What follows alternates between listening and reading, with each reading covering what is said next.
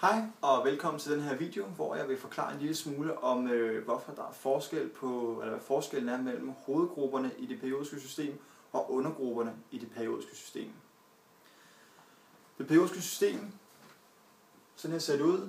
Vi husker, at øh, her har vi første og anden hovedgruppe, tredje til ottende hovedgruppe. Så har vi undergruppen her, som er det, vi skal tale om. Og man kan sige, at øh, lantaniderne og atiniderne er en del af undergruppen.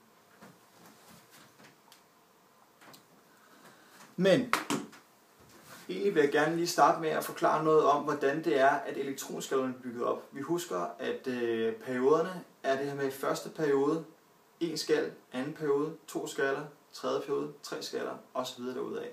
Der er forskellige, der er regler for, hvor mange elektroner der kan være i hver skal, og det har noget at gøre med, hvordan elektronerne øh, forbinder sig. Og det var jo vigtigt, fordi hovedgrupperne handlede om, hvor mange elektroner der var i yderste skal, og hvorfor er det så, at undergrupperne ikke bare opfører sig ligesom hovedgrupper.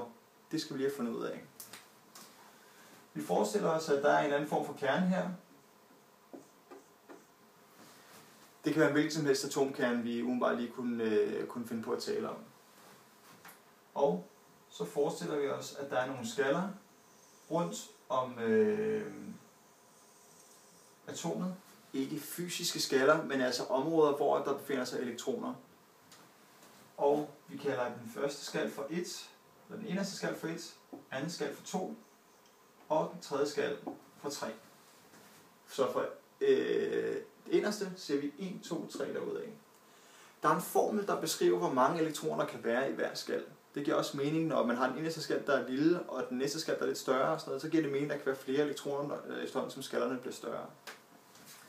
Formlen er som følger. 2 gange lille n i anden. Og n beskriver simpelthen, hvilken nummer skal der vi har med at gøre. Så hvis det er den inderste, så sætter vi ind, eller 1, 1 op på øh, 0. plads, eller på endes plads. Hvis det er anden periode, eller anden øh, skal, sætter vi 2 op på endes plads, og så fremdeles. Så lad os lige prøve at regne ud, hvor mange elektroner der kan være i skallerne. Vi vil sige, at første skal,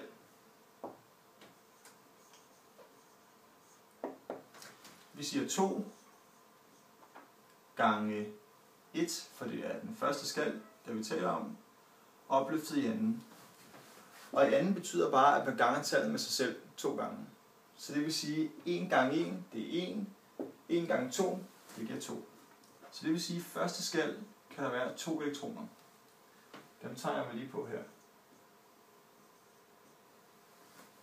Godt. Anden skal,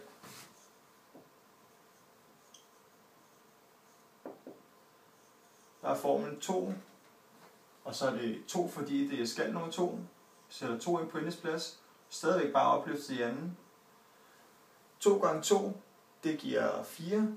4 gange 2, det giver 8. Så i anden skal kan der være 8 elektroner.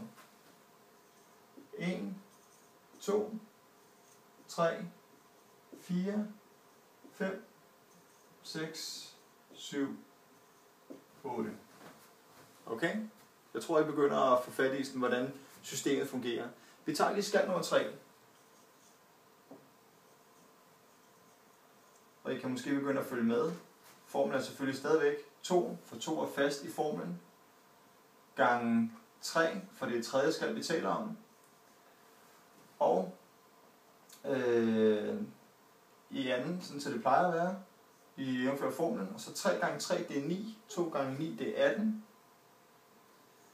så i tredje skal kan der være 18 elektroner.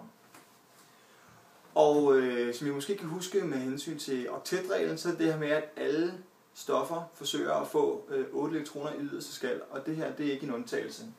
Så vi giver også lige den tredje skal 8 elektroner i yderste skal. 3, 4, 5, 6, 7, 8. Når nu et stof har fået 8 elektroner i yderste skal, så vil det, så vil det starte en ny skal, fordi man kan ligesom sige, når den, den har ikke ni elektronløse skal, den har altid allerhøjeste 8. Så vi forestiller os, at øh, det næste stof, der kommer i rækken, skal altså være en ny periode, det vil sige, der starter en ny skal. Der kommer lige en ekstra skal på her. Og I første hovedgruppe har øh, stoffet så en elektron i yderste skal. I anden hovedgruppe har stoffet to elektroner i yderste skal, men så kommer springet her, når det skal over til, når det går igennem, øh, kan man sige, øh, undergruppen. Hvis vi lige kigger på det periodiske system igen, jeg håber, I kan følge med, så kan I se, at vi har været herover i tredje periode, hvor vi har haft fat i argon. Det har øh, tre øh, skaller. Det har otte elektroner i yderste skal herover, og så går det ned og bliver til kalium, og derefter calcium. Men calcium, eller stof, calcium er stof nummer 20, og cesium er stof nummer 21. Og, øh, og det er en del af undergruppen, og det er simpelthen fordi, at øh, man kan sige, at øh, hvis I husker tredje skal, der kunne være 18, men der er kun 8 elektroner i øjeblikket.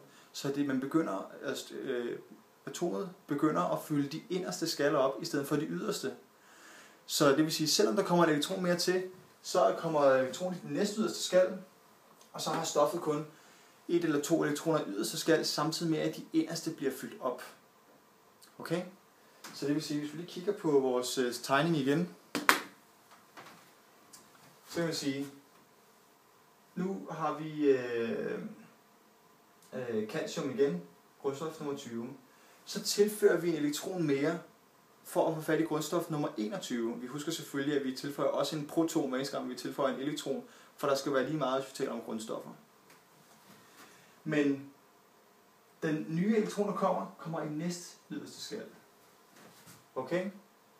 Stoffet har øh, fået en proton og en elektron mere, og er blevet til et nyt grundstof, et større grundstof, men har stadigvæk kun to elektroner i yderste skal, og hører derfor ikke hjemme i tredje hovedgruppe, og heller ikke i anden hovedgruppe, fordi at der er calcium jo allerede. Så, og så tilfører man en elektron mere, og måske en elektron mere, og måske en elektron, øh, hov, ikke i yderste skal, men i næste yderste skal. Nu har vi tilføjet sådan, så der er 12 elektroner i inderste skal, men stadig kun to elektroner i yderste skal.